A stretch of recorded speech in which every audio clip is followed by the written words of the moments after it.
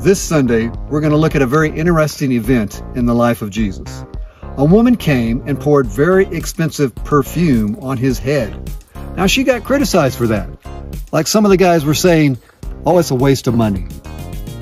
But Jesus said, no. She has done a very beautiful thing.